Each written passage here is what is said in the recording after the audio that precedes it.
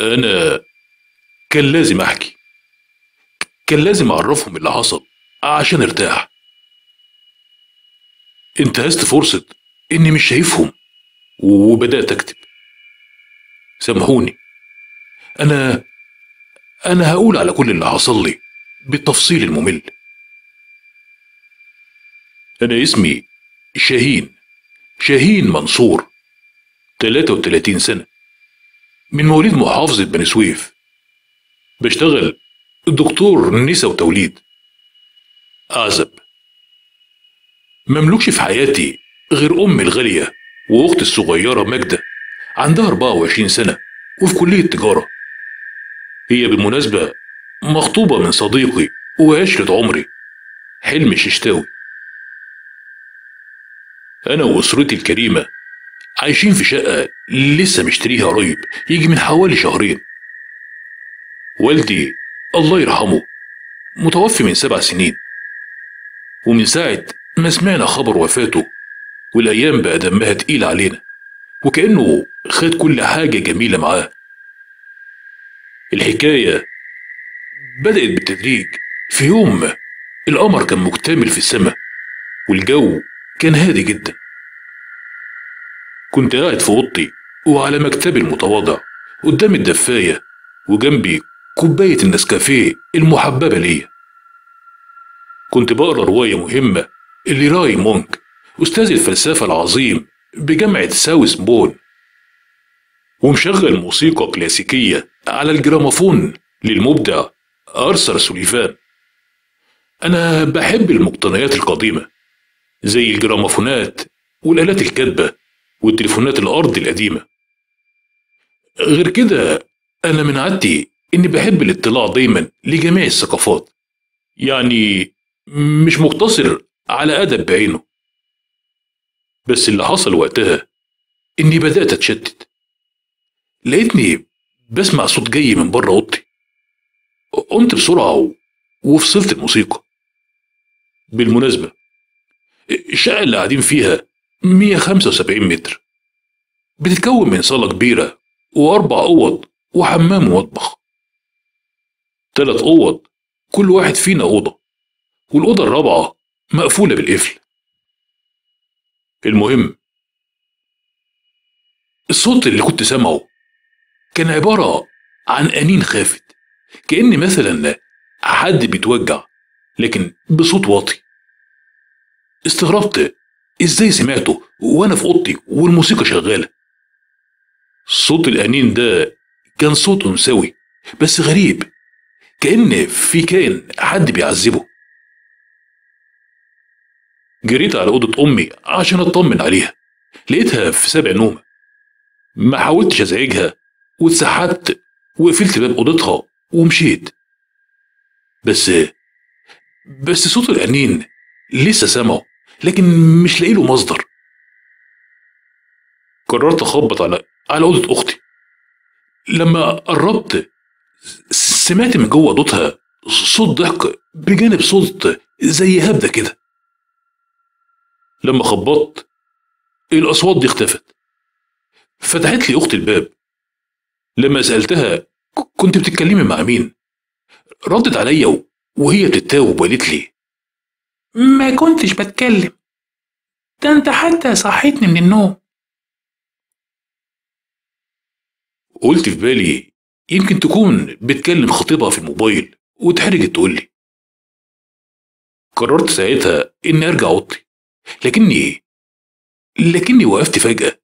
وقفت لما لما لمحت مخالب كبيرة بتحاول تخرج من تحت عقب باب الأوضة المقفولة. قربت من الأوضة وأنا مستغرب. سمعت صوت صرخة مكتومة من جوه الأوضة. أنا ما عرفتش أتصرف إزاي غير إني غير إني جبت شاكوش و... وبدأت أكسر القفل الموجود على الباب. وبالفعل استسلم القفل لخبطات الشاكوش ووقع وبدأت أدخل الأوضة. كان في سواد كحل. جيت أفتح النور اكتشفت إن مفيش أصلا كهرباء جوه الأوضة. افتكرت لما السمسار قال لي بلاش تقربوا من الأوضة دي. ولما سألته عن السبب قال لي "إيه، لأنها لسه ما اتشطبتش وفيها كام قطعة عفش تخص السكان اللي قبليكوا رجعت على أوضتي جري وجبت كشاف. دخلت و... وأنا مواجه الكشاف ناحية الضلمة لما بدأت أمسح ال- الأوضة بالنور أنا هوصف لكم الأوضة. كانت عبارة عن حيطان. حيطان عبارة عن طوب أحمر. كان في علامات لخرابيش في كل ركن في الحيطة. أنا شميت ريحة ما كانتش مريحاني بس بس هو فين العفش اللي السمسار قال لي عليه؟ كنت بسأل نفسي لحد ما عيني وقعت على بيانو. بيانو موجود في آخر الأوضة. كان لونه أبيض كان مليان تراب وشبك عنكبوت أنا أنا انبهرت بيه بشكل مش طبيعي لدرجة إني فكرت أنضفه وأحطه في الصالة. قربت على البيانو. جيت ألمسه لكن لكن قبل ما أعمل أي حاجة بدأت بدأت أسمع صوت الصرخة المكتومة اللي كنت سمعتها وأنا بره. كانت كانت جاية من جنب البيانو ده. لما بصيت جنب البيانو ما لقيتش ما لقيتش غير غير جلود صغيرة كتير مرمية جنب وتحت البيانو. جلود جلود مليانة شعر. أعتقد أعتقد ده, ده, ده, ده جلد قطط. بس إيه البشاعة دي؟ ده ده في دم دم على الحيطان دم أسود متجلط والدم ده طاير البيانو من ورا. جبت كيس أسود كبير وقفلت باب الأوضة بسرعة عشان مش عايز حد من أمي ولا أختي يشوف المنظر المقزز ده. حطيت الكشاف في بقي ونزلت على ركبتي وبدأت انضف كل حاجة. والم الجلد ده من على الأرض في الكيس بس بس وأنا بعمل كده. لمحت لمحت ظل بيتحرك بسرعة ورايا قمت بسرعة ووقفت وبصيت ورايا بصيت يمين وشمال. ما لقيتش حاجة. بس بس حسيت بوجود حد حواليا. الضلمة الضلمة كانت كفيلة بأنها بأنها تشكل لك مليون شبح وألف ظل. عارفين أنتم؟ عارفين الشعور لما تكون لوحدك في مكان ضلمه و- وكل اللي بتملكه هو كشاف إضاءته ضعيفة. وتحس تحس بوجود حد معاك في الأوضة. أنا أنا كنت حاسس بهوا سخن مع إني كنا في الشتاء. في اللحظة دي أي حد مكاني هيحاول يلهي نفسه بأي حاجة. علشان علشان يخرج من الموقف ده وبدون خسائر في الوقت ده مسكت الكشاف في ايدي. جيت علشان اخرج وأنا وأنا بسحب الكيس ورايا بحذر. لكن لكن الكيس كان تقيل جدا. قلت يمكن اتشبك في رجل البيانو.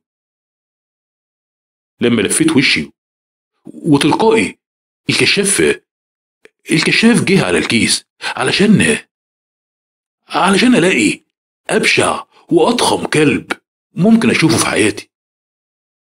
كلب أسود كان ماسك الكيس بين سنانه وبيرجع لورا لحد لحد ما قطع الكيس فعلا وبدأ ياكل في الجلد.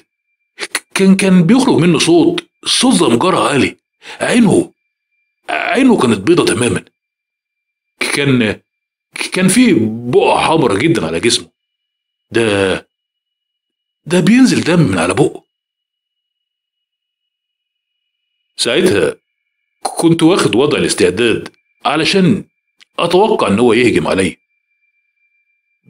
بدأت أسحب ببطء خطوة بخطوة لورا. قلبي وقع في رجلي لما لما بدأت أشوف ظله على الحيطة وأنا وأنا موجه الكشاف عليه. ظله ظله كان بيتشكل لأشكال كتيرة في نفس اللحظة.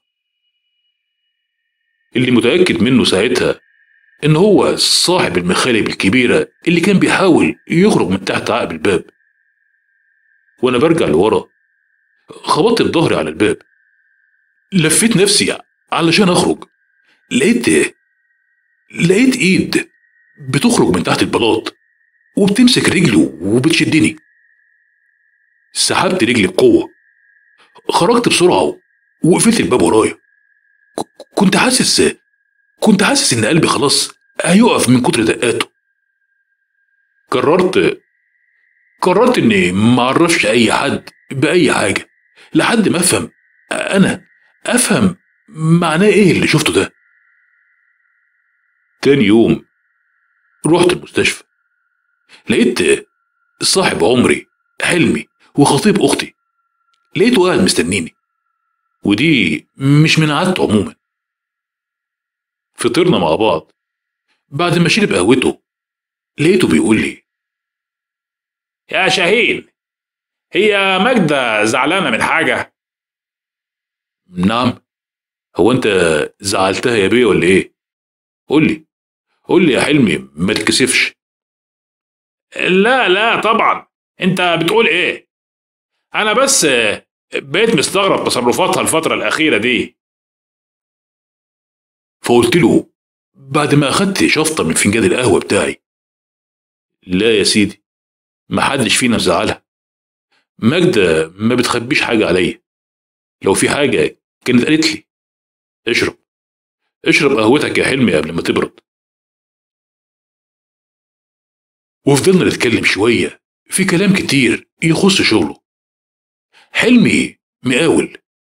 هو اللي كلم السمسار عشان يجيب لنا الشقة دي بعد ما عزلنا من شقتنا القديمة بعد المشاكل اللي كانت ما بيننا وبين صاحب العمارة.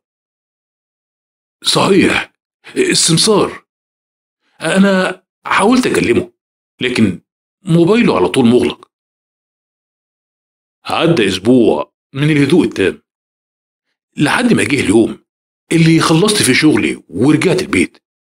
وكالعادة أمي كانت نايمة بسبب العلاج اللي بتاخده وأختي مش في أوضتها. غيرت هدومي واتحركت على المطبخ عشان أعمل كوباية نسكافيه. لقيت ماجدة أختي فاتحة التلاجة ومدخلة راسها فيها ومنعكشة شعرها بطريقة مضحكة. اديتها ظهري وأنا بحط الكتل عشان يغلي وأنا بقول لها بابتسامة الله يكون في عونك يا صاحبي. أقصد هي اللي في بالي يعني. راحت الابتسامة من على ملامحي. بدأت أبلع ريقي وأنا بكلم نفسي. دي دي مش ماجدة. دي دي بشرتها بيضة أوي. أمال أمال إزاي لمحت رجليها سودة بضوافر طويلة؟ التفت بسرعة لكن لكن ما لقيتش حد واقف. بس بس كان في أثر لرجليها مطبوعين على الأرض. المرعب بقى إن الأثر عبارة عن سواد وكأنه طين. تتبعت الأثر ده بحذر. لقيت نهايته عند الحمام. بس في نفس اللحظة في نفس اللحظة لقيت نفس الأثر ده. نهايته نهايته عند عند أوضة ماجدة بقيت واقف مش قادر أستوعب.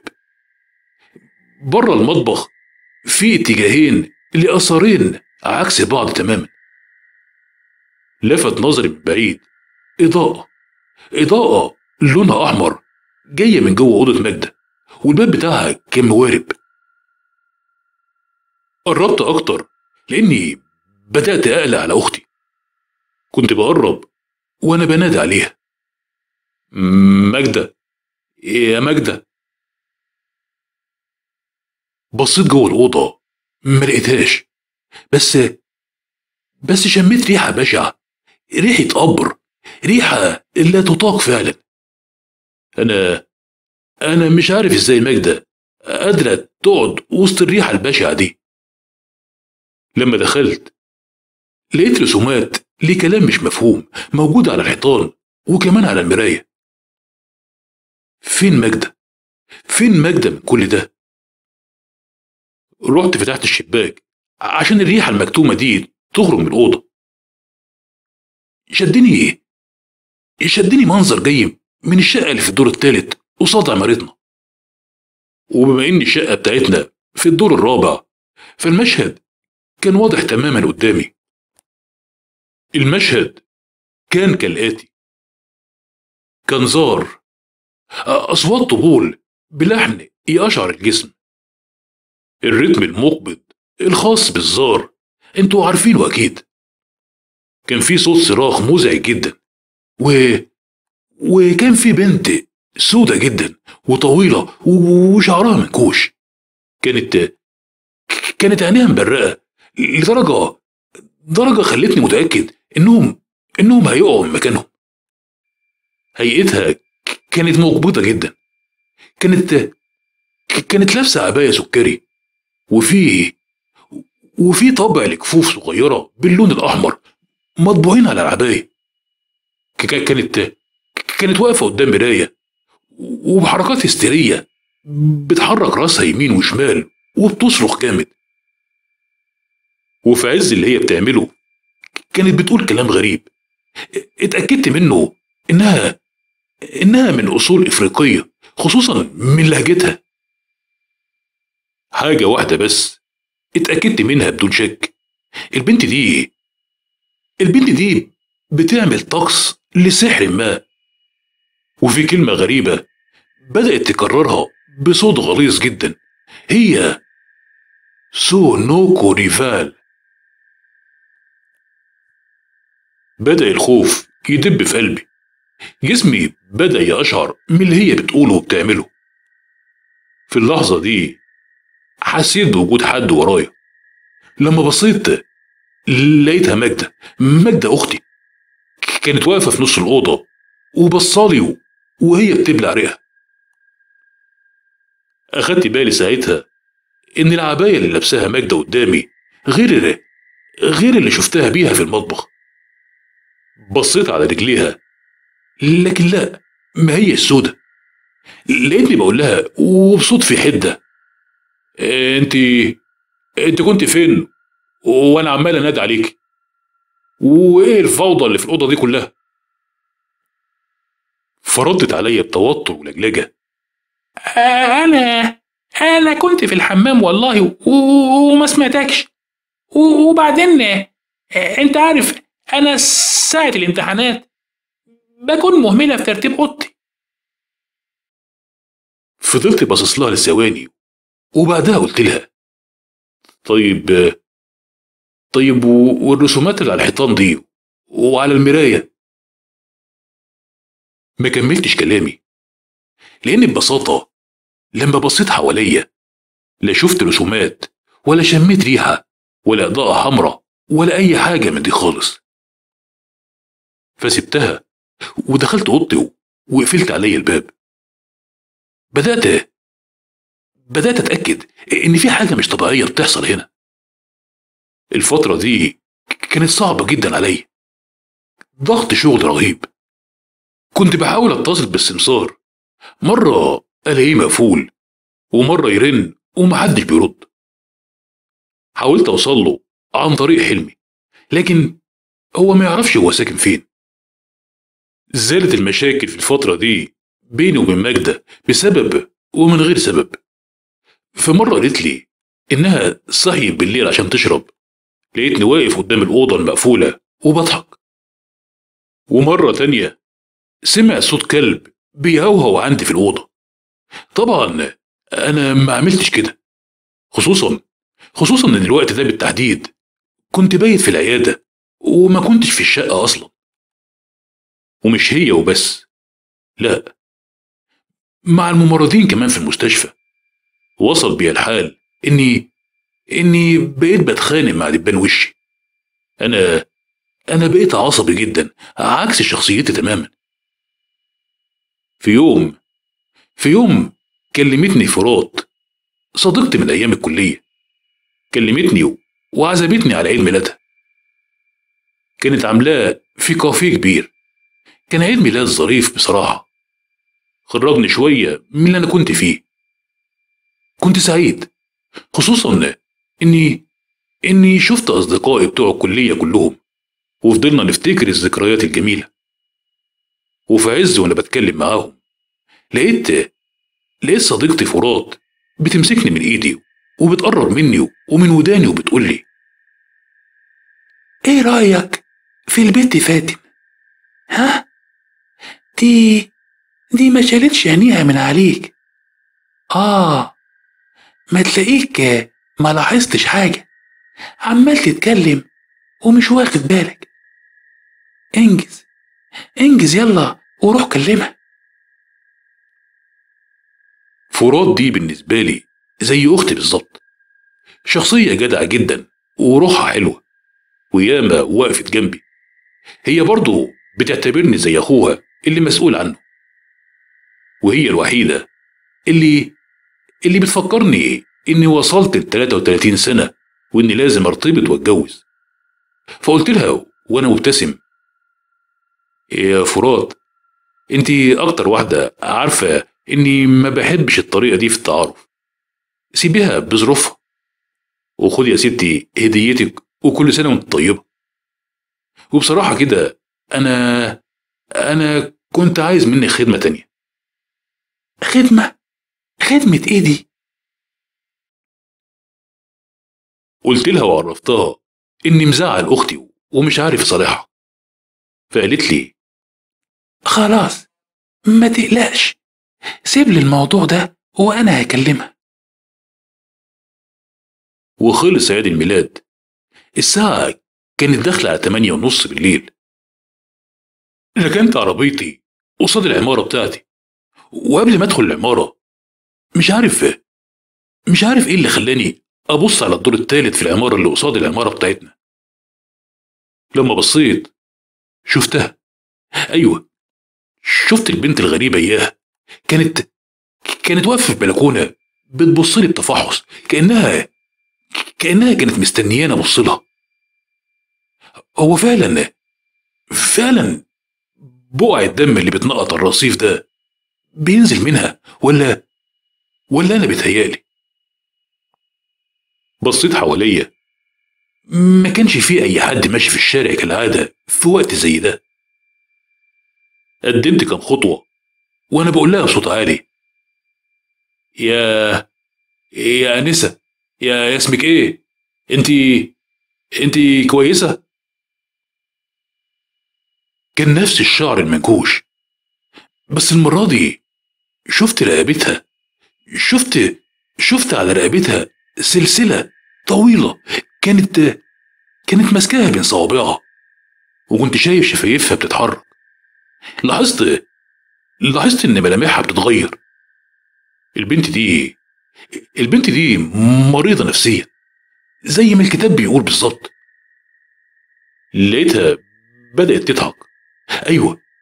كانت بتضحك وبتبص قدامها بالتحديد بالتحديد على الدور اللي فيه الشقة اللي أنا ساكن فيها.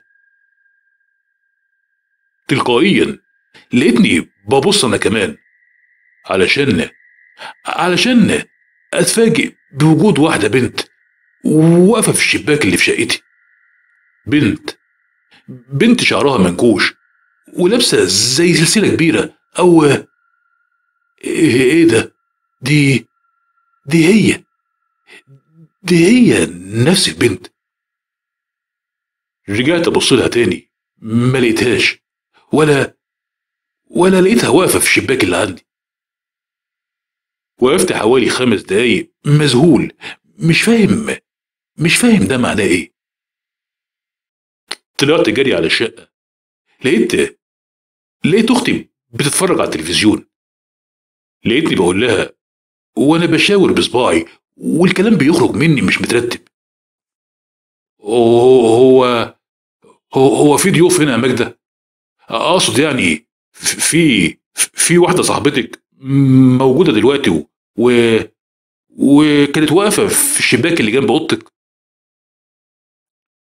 فاستغربت أختي وردت عليا بعصبية. أولا أنا ما بجيبش حد من صحباتي هنا. ثانيا أنت مش ملاحظ إن الشباك اللي جنب أوضتي هو شباك الأوضة اللي مقفولة وما بنفتحهاش؟ ودارت بينا مناقشة حادة جدا. اضطريت ولأول مرة في حياتي أمد إيدي على أختي. لما عملت كده سابتني ودخلت أوضتها. دخلت أنا الحمام. عشان أغسل وشي. حطيت راسي تحت الحنفية. جيت أقوم. لقيت لقيت في المراية وش أختي وهي بتبصلي بنظرة غضب بصيت ورايا بسرعة لكن لكن ما لقيتش حد واقف. دخلت أوضتي بعد ما حسيت إن أعصابي تعبانة. ما حسيتش بنفسي من كتر التعب ونمت. نمت بهدومي حتى. قلق منامي صوت كأنه جاي من بعيد. بعد جهد فتحت عيني. بس بس ما كنتش شايف غير سواد كاحل أنا من عادتي بسيب لمبة الأباجورة مفتوح لكن وقتها وبالأخص ما بقتش فاكر أنا سبتها ولا نمت على طول. وإيه الضلمة الجامدة دي؟ حاولت أقوم لكن لا. أنا مش قادر. حاسس زي ما يكون في جبل على صدري. إيدي متكتفة ورجلي كمان. لساني كان معقود. جيت أتكلم. سمعت الصوت ده بيخرج مني. صوت صوت غريب. إيه اللي بيحصل؟ ساعتها بدأت أستوعب الصوت. ده ده حد بيعزف على البيانو. لو لو لو ما بيتهيأليش واستيعابي ما خدنيش يبقى يبقى أنا سامع جنب العزف ده صوت صوت فيران فيران عددهم كتير حاسس حاسس بيهم بيتحركوا فوق مني. فكرة إنك تشوف فيران قدامك شيء مقزز جدا. ما بالك بقى ان فيران ضخمة وكتيرة وماشية على جسمك وأنت نايم. إيه ده؟ ده أنا ده أنا نايم على الأرض. بدأت أقوم من على الأرض بعد ما الفيران دول بعدوا عني. لما قمت بصيت حواليا لكني لكني ما كنتش شايف حاجة ما كنتش شايف حتى كف إيدي. أنا أنا بقيت زي الكفيف بحسس حواليا. لكن مش بوصل لأي حاجة قدامي. دماغي كانت وجعاني جدا. الجو كان برد جدا جدا وجسمي بيتنفض. كان في صوت غريب مش عارف هو إيه بالظبط. صوت صوت زي تكتكة السنان. الصوت ده ك- كان له صدى. بدأت أسمع صوت همهمات في وداني. في اللحظة دي وعلى مرمى بصري شفت ش- شفت ضوء خفيف بيظهر. ضوء ضوء شمعة الضوء ده كان كفيل إني أعرف مكاني. أنا أنا في مكان واسع جدا. واسع بنفس وسع أوضتي وحيطانه بالطوب الأحمر. و... وشايف البيانو الأبيض قدامي. معقول؟ معقول يكون اللي في بالي. معقول أكون دخلت الأوضة المقفولة وأنا نايم. بصيت قدامي لمصدر الضوء. كانت الصدمة ساعتها. البنت اللي البنت اللي كانت ساكنة في الدور الثالث قصاد العمارة بتاعتي. البنت السوداء أسنانها أسنانها المدببة. شعرها المنكوش. كانت لابسة كانت لابسة السلسلة الكبيرة إياها وماسكاها. وبتبص عليا وهي بتحرك شفايفها. بس بس أنا مش سامع بتقول إيه. جيت أمد إيدي لقيت لقيت في حاجز من إزاز بيني وبينها. اكتشفت ساعتها إنها مش بتبص عليا. البنت دي واقفة قدام مراية وبتعمل حاجات غريبة لدرجة إني حسيت إني محبوس جوه المراية دي. كان في كان في هوا سخن. بدأت بدأت أسمع صوت نفس هادي ورايا أنا أنا ما عنديش الشجاعة إن ألتفت لورا. لكن لكن رد فعل البنت خلاني متأكد إن اللي واقف ورايا ده حاجة كارثة. بدأت تبرق عينيها وتبلع ريقها بالعافية. لكن اللي حصل بعد كده صدمني أنا لأنها لأنها بدأت تضحك وتضحك ونظرة مرعبة ظهرت على ملامحها. كانت ماسكة شمعة. هي سبب الضوء ده. بدأت تقرب الشمعة على المراية وتنفخ في لهب الشمعة وأنا شايف ملامحها بتتبدل. المرة دي المرة دي التفت ورايا لأني لأني سمعت صوت أنين لبنت سمعته قبل كده. لما بصيت وبسبب الضوء الخافت لقيت لقيت كتلة هلامية في ركن من أركان المكان. كتلة لواحدة ست بطنها كبيرة وتتألم كنت شايف حواليها أجسام صغيرة بتتحرك بسرعة شديدة. قطط. أيوة أيوة دي, دي قطط.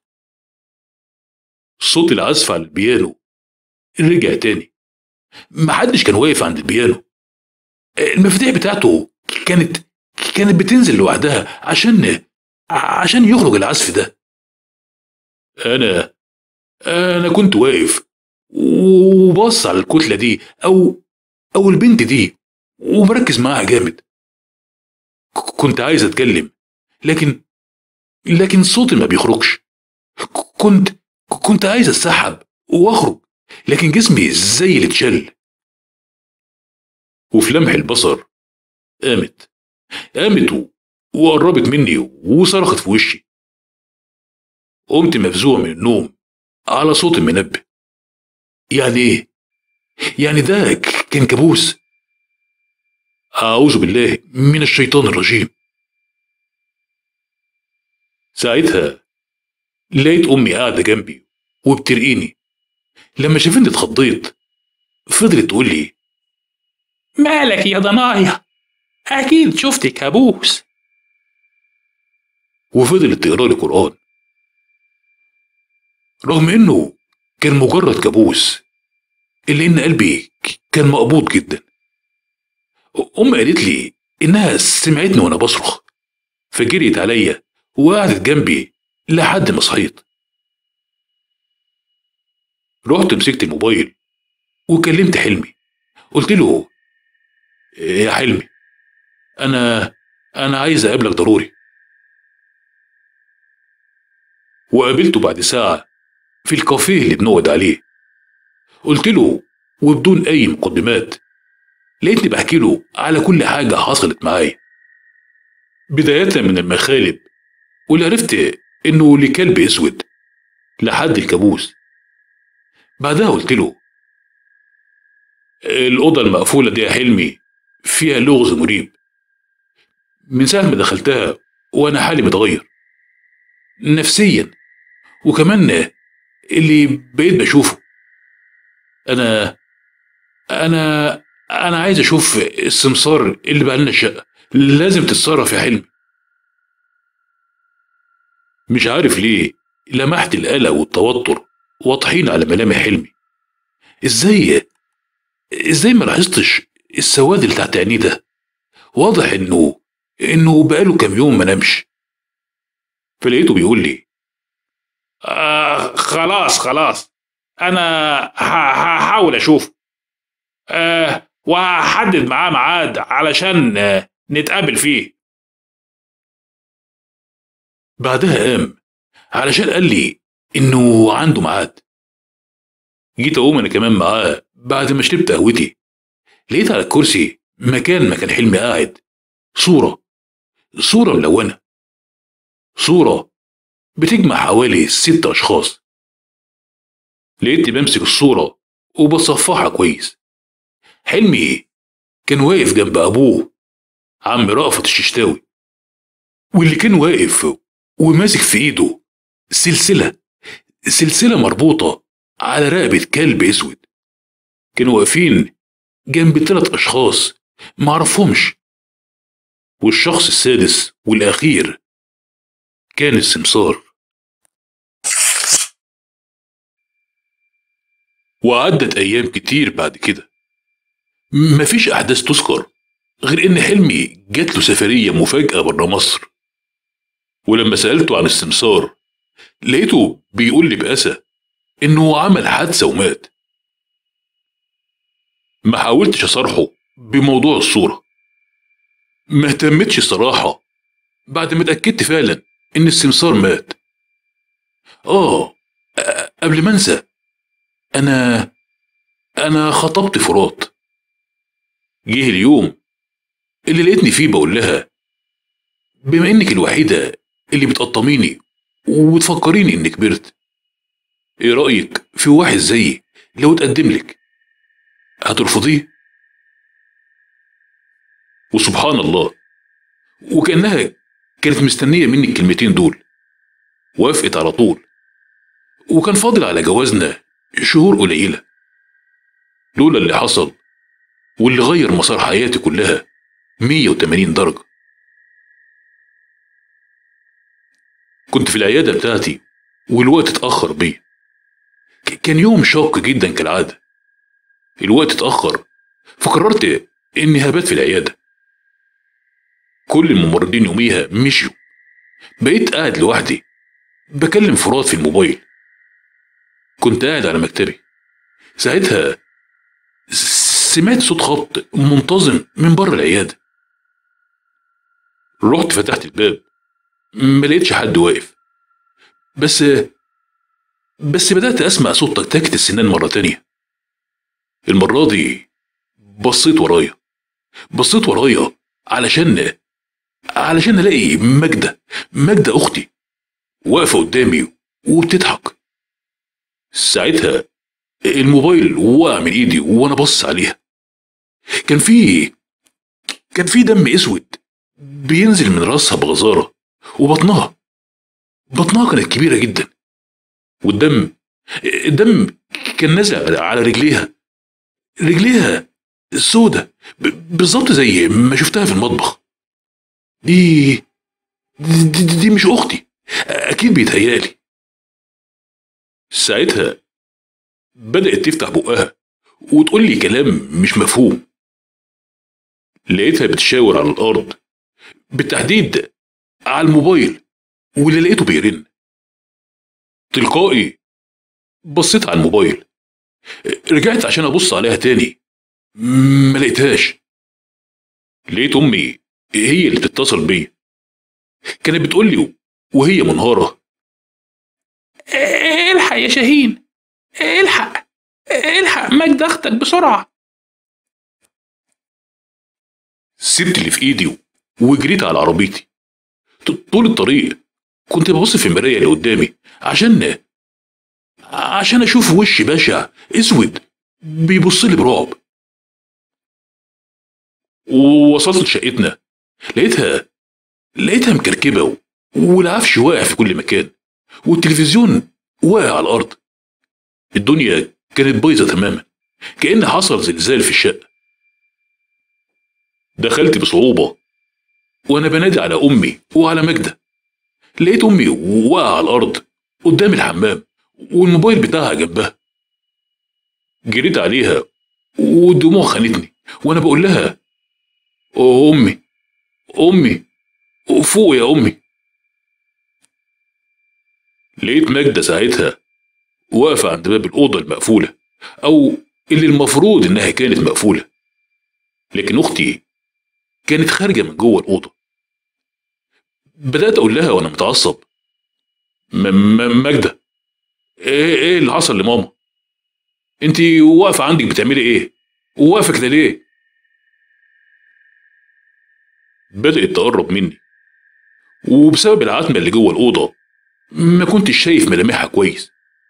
لكن لكن بدأت تظهر كل ما تقرب مني. أختي كانت ناكشة شعرها. كانت بتقرب مني وبتمشي زي الزومبي بالظبط. رجليها كانت مقوصين وبتمشي ببطء.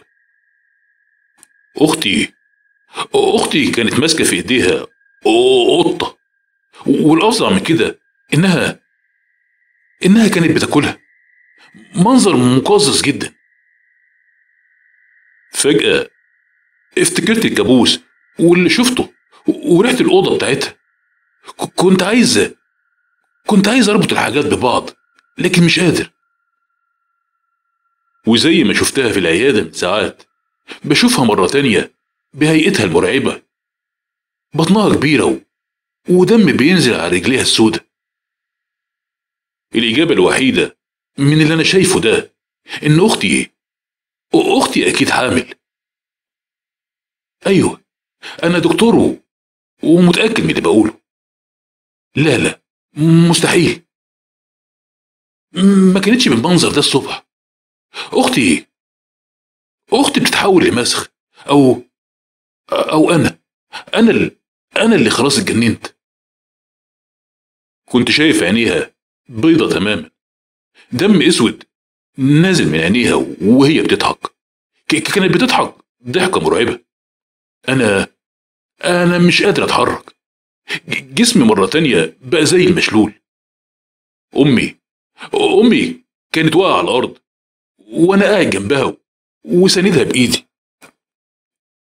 اللي ما عملتش حسابه ساعتها إن إن النور قطع. علشان يكهرب الجو بزيادة؟ كان فيه هدوء مرعب عام المكان ضلمة كحل. بعدها بدأت إضاءة حمراء تظهر في الشقة كلها. أنا أنا كنت سامع صوت أنفاسها الهادية. بعدين بعدين بدأ صوتها يظهر تاني. بدأت أحس بحاجة بتمشي على رجلي. فيران. فيران كتير جدا حوطتني صوتهم صوتهم كان مرعب كفاية. لقيتني لقيتني بصرخ وبقول بصوت عالي ومتوتر. إيه إيه إيه, إيه اللي أنت بتعمليه ده يا ماجدة ردت عليا تلقائي وبصوت غليظ ومرعب. أنا مش ماجدة وقع عليا كلامها. زي الصاعقة بالظبط. وقبل أي رد فعل يظهر مني. لقيتها بتقول بنفس صوتها الغليظ. ولدني استجمعت شجاعتي ولقيتني بقول لها آه أنا أنا مش هولد حد. أنت أنت مين أصلا؟ وساد الصمت لثواني. رجعت تتكلم وتقول عايز تعرف أنا مين؟ أنا ريفال. وبدأت ملامحها تتبدل لملامح البنت السوداء إياها وبدون أي مقدمات مسكتني من شعري وجرتني على الأرض دخلتني الأوضة إياها لقيت الباب بيتقفل ورانا. بدأت بدأت أسمع صوت أنينها صوت الأنين اللي سمعته قبل كده. كانت هي مصدره. بدأت أسمع المخلوقة دي وهي بتقول لي بصوت غليظ.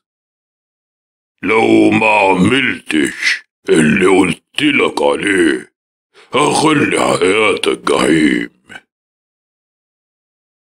أعمل أعمل إيه وإزاي؟ لقيتها بتصرخ بشدة. ضوافر سودا بشوفها بتخرج من بطنها. دمها دمها أسود. بدأت أسمع أصوات مرعبة. صرخات على همس على على صوت الزار من جديد على صوت البيانو.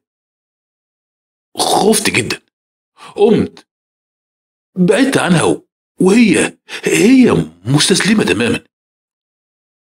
سبتها تصرخ.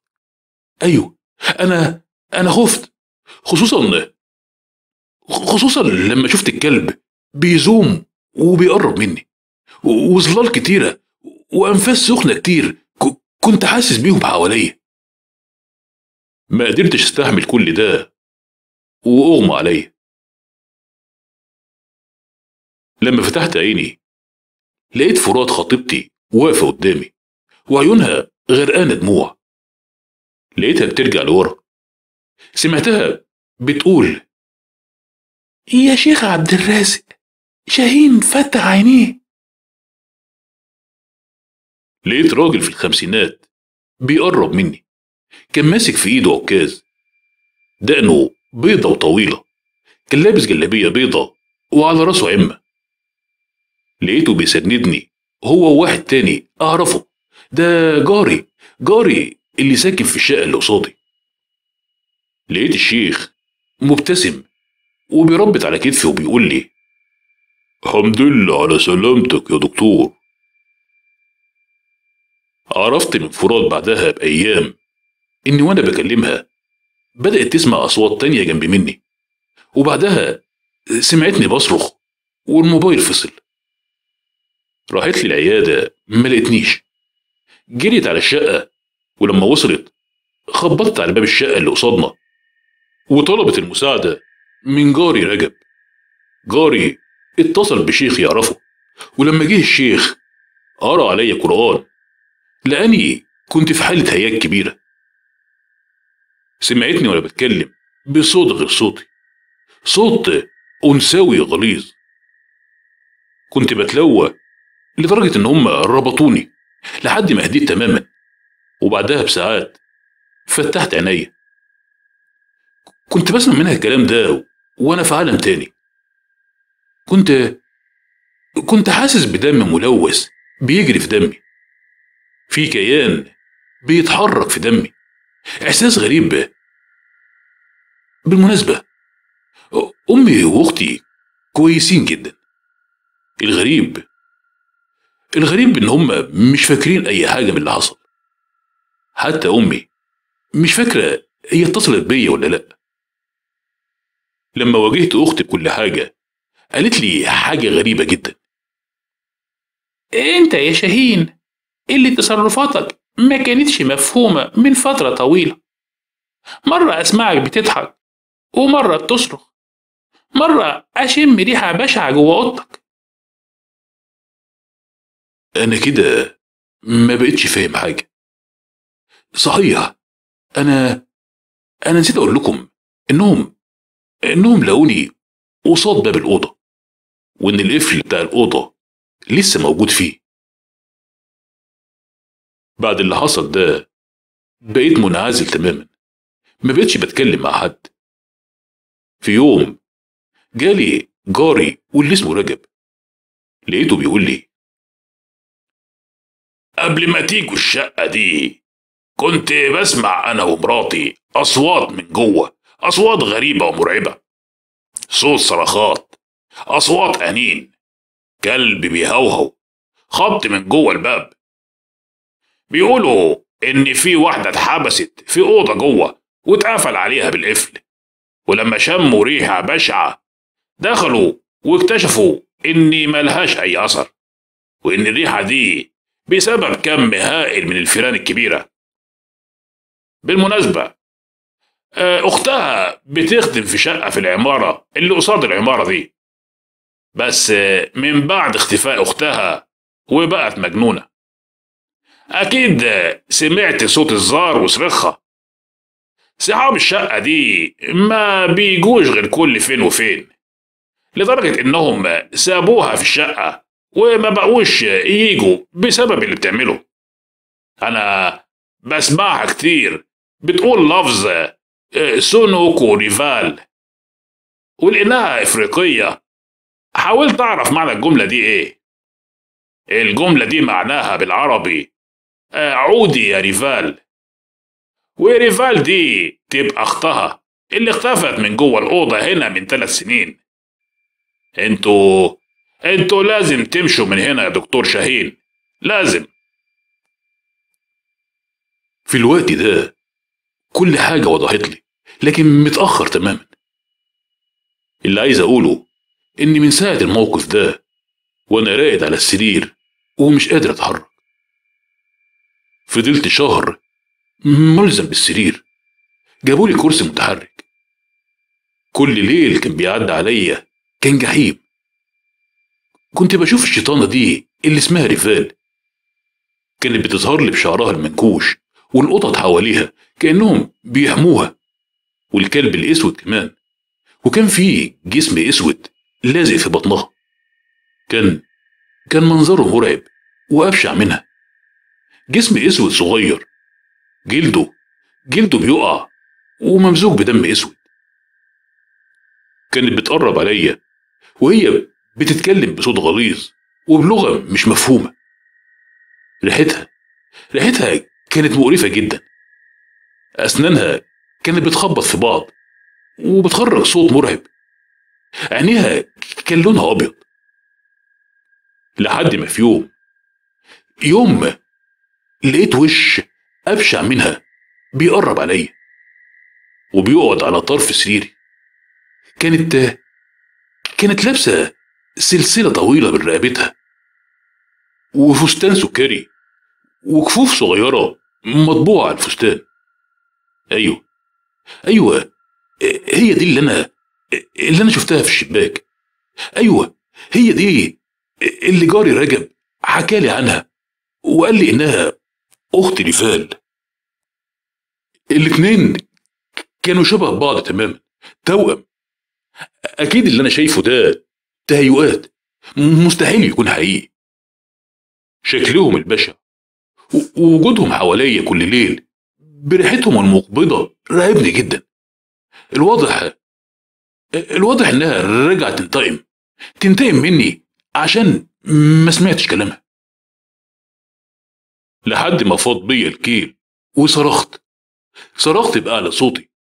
استجمعت قوتي وبدأت أستعيذ بالله من الشيطان الرجيم. فضلت أقرأ أي آية تيجي في بالي.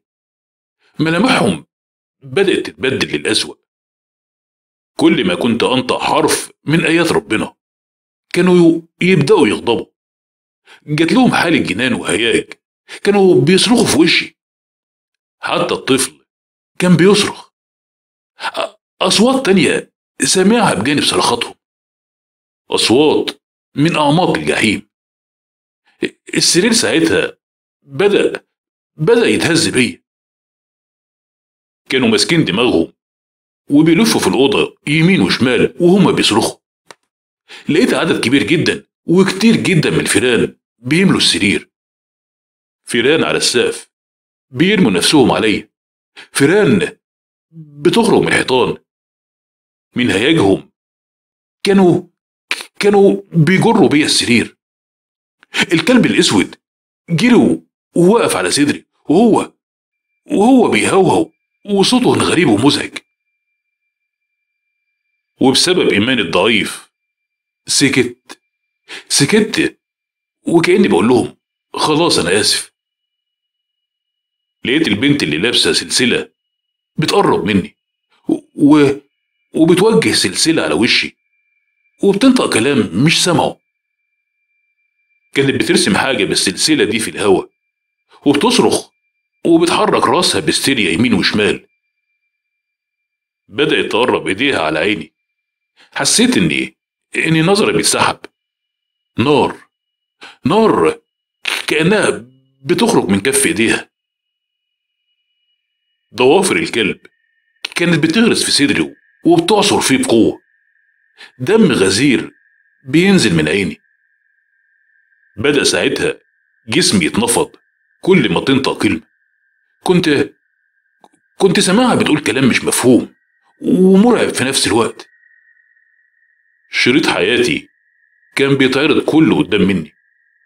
كنت حاسس حاسس بجسمي بيترفع عن السرير وبيوصل للسقف. نفسي بيضيق.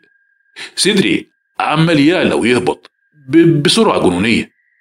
كنت عايز أنطق لكن مش قادر. عايز أتكلم مش عارف. عايز أستغيث. مفيش فايدة. بدأت الرؤية تختفي من حواليا بالتدريج. سكون رهيب. معرفش إيه. معرفش عدى كام ساعة أو حتى كام يوم. كل ما كنت أفتح عيني أحس بوجود أحس بوجود مية دافية على جسمي. مرة ألاقيني بتحرك بس بس مش حاسس بجسمي وكأني بيتكتف أغمض وأفتح ألاقيني ثابت ما بتحركش. كنت بسمع أصوات عبارة عن همهمات. لحد ما فتحت عيني بالتدريج علشان علشان ألاقي الجو ضلمة وكئيب من حواليا. بدأ وعي يرجع لي بالتدريج. بدأت أكتشف مكاني لما حسيت برطوبة تحت مني وشميت ريحة عاطنة ومعفنة جدا. لما اكتشفت إن جسمي متأيد بالشكل ده لما ربطت وجود مية على جسمي ده لأني كنت كنت بتغسل كنت بتغسل وبتكفن وأنا أنا حاليا مدفون. أنا أنا مت. أيوه أنا مت. الملعونة دي وأختها قتلوني. معقول؟ لا لا مش ممكن. أكيد ده أكيد ده كابوس ما هو أنا اتعودت خلاص. اتعودت على إن آخر كل موقف مرعب يبقى كابوس أنا أنا خايف جدا. أنا حاسس بحركة خفيفة عند رجلي. ظل أسود بدأ يظهر لي. كان بيطول وينكمش في نفس اللحظة تقريبا. أصوات همس وعيون حمراء بدأوا يظهروا. صوتي صوتي ما بيخرجش لساني معقود. أصوات الهمس دي كانت بتتعالى. كل اللي كان بإيدي إن إن عيني مفتوحة على آخرها وبس. شايف هالات بتحوم حواليا. برغم الضلمة اللي حواليا إلا إني شايف. أيوه أنا أنا شايفهم بوضوح. شايف شايف الإيد اللي بتخرج من تحت التربة وتمسكني من رجلي. شايف الأختين واقفين عند رجلي ومبرقين وبيضحكوا. البنت اللي هي أخت رفال قدمت ونزلت على ركبتها وبدأت تبص لي. كان منظرها بشع. بدأت ترفع راسها لفوق. كانت ماسكة السلسلة المرعبة بقبضة إيديها وبتهز جسمها وبتقول كلام كتير مش مفهوم. بدأت بدأت تشيل الكفن من على بطني وبدون مقدمات. قربت قربت ضفيرها عند بطني وبدأت تغرزه. بدأت تغرزه وتحركه وكأنها بترسم حاجة على بطني. الغريبة إني مش حاسس بأي ألم. وبصوت غليظ ومزدوج بدأ يتردد في وداني. جحيم جحيم. كنت شايف رفال بتقرب مني هي كمان. جت عند بقي وبدأت تفتحه بقوة. ما كنتش شايف في إيديها حاجة لأني لأني حسيت بسائل بيجري في دمي.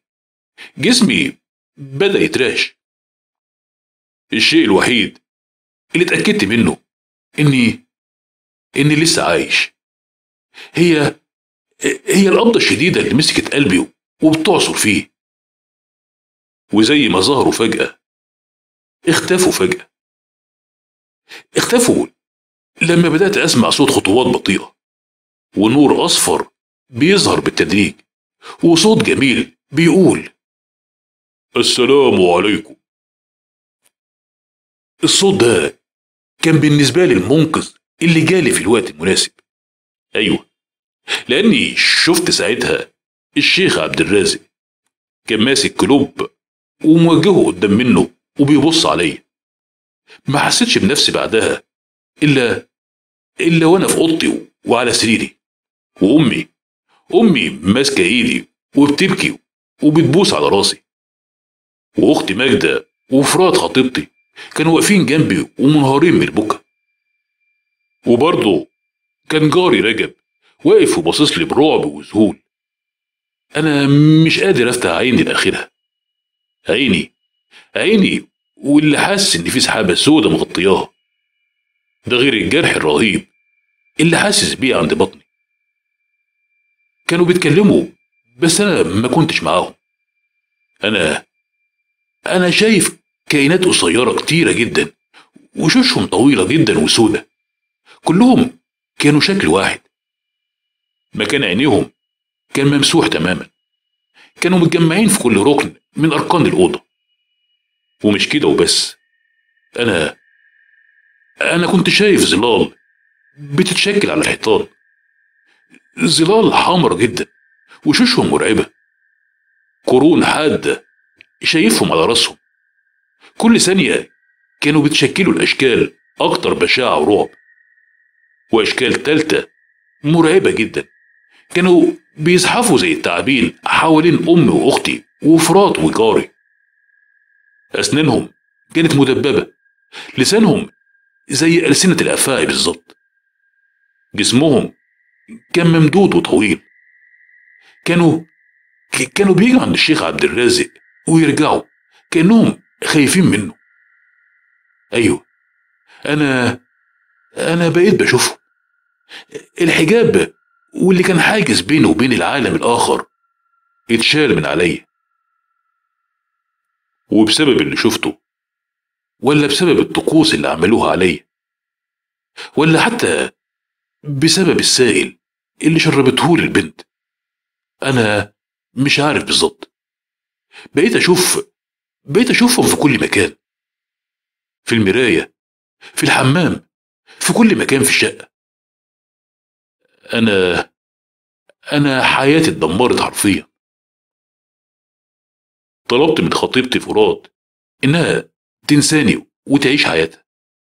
في الأول كانت رافضة تماما بس أنا أصريت عليها لحد ما فعلا فسخت الخطوبة. أنا أنا بقيت شخص تاني خالص. من دكتور شاطر وطموح لشخص منعزل عن العالم تماما. وجوده زي عدمه. شخص بيشوف الشياطين والجن وعمار البيت ومخلوقات كتير مقبضة. الشيخ قال لي إنه إنه سمع صوت صراخ وأصوات كتيرة جاية من القبر اللي اتدفنت فيه.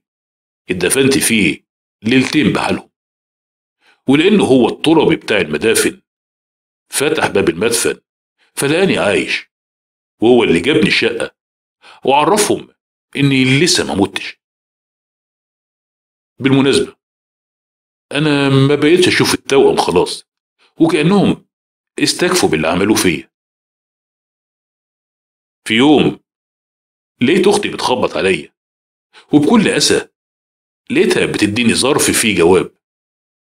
لما فتحت الجواب لقيت مكتوب فيه الآتي. سامحني يا صاحبي. أنا السبب في كل اللي حصل لك الفترة اللي فاتت. لما في يوم أبويا كلم جارنا اللي في العمارة اللي قدامنا عن خدامة تكون كويسة لأن محدش عند أبويا بيقوم بتنظيف البيت بعد وفاة أمي. وبعد يومين لقيناه جايب خدامة من إفريقيا في العشرينات من عمرها. اسمها ريفال. وكانت أخت الخدامة بتخدم عنده. وقتها كنت عند أبويا لكن ما كانش يعرف إني موجود. في اليوم ده بالتحديد لقيته جاي سكران طينة وبدل ما يدخل أوضته دخل أوضة الخدامة. اغتصبها. حاولت تقاوم لكن ما قدرتش. جريت على صوتها وبصيت من بعيد وبدون مقدمات. شفته بيضربها بالقلم وبقوة. استسلمت وأغمى عليها. جاب قفل كبير وقفل الباب عليها. استنيت لما دخل أوضته وخرجت بسرعة من الشقة. بعدها عرفت إنها ما ماتتش. فضلت محبوسة شهور في الأوضة. كنت بسمع عنينها كل ليلة لكن ما قدرتش أساعدها. وجه اليوم وجرأت وكسرت القفل ودخلت الأوضة لكني ما لقيتهاش. بس بس لقيت قطط كتير ميتة. القطط اللي اتحبست معاها والواضح إنها ما لقيتش حاجة تاكلها فأكلت القطط. بعدها بكم شهر رجعت انتقمت من أبويا لحد ما خلته ينتحر. طلبت من السمسار اللي هو في الأصل ابن عمي إنه يشوف صرفة ويغور الشقة دي بعيد. لقيتك بتكلمني. كلمت ابن عمي السمسار واتفقت معاه. كنت فاكر إن بكده الملعونة دي هتسيبني ومش هتظهر لي تاني. بس كنت غلطان.